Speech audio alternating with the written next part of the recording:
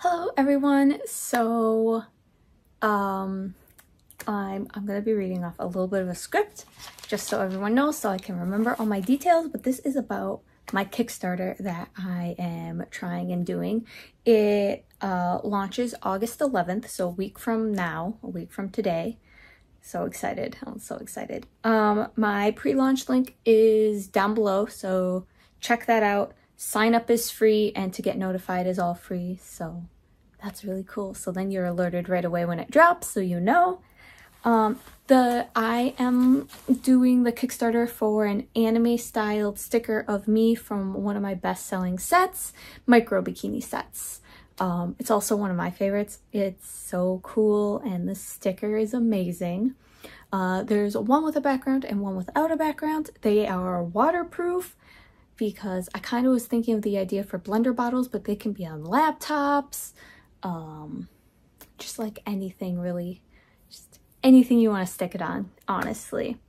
Um, there's also an optional side print uh, that was the inspiration for the stickers, which I just was talking about, the micro bikini one. Um, sorry, reading my list. Uh, you only get charged if the project is funded. So say it doesn't get funded, you're not going to get charged. You don't got to worry about that.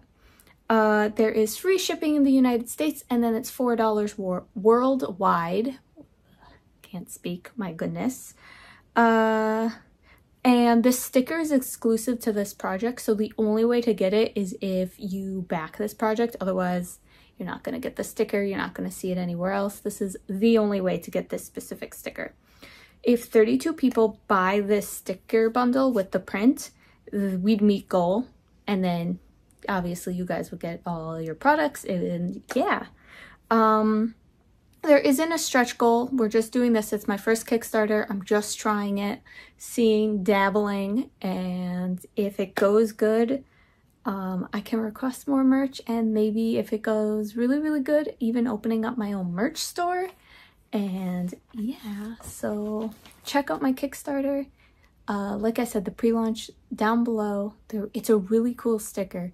I kind of found an artist, because a lot of blender bottles have like this cool anime print. That's kind of what I did.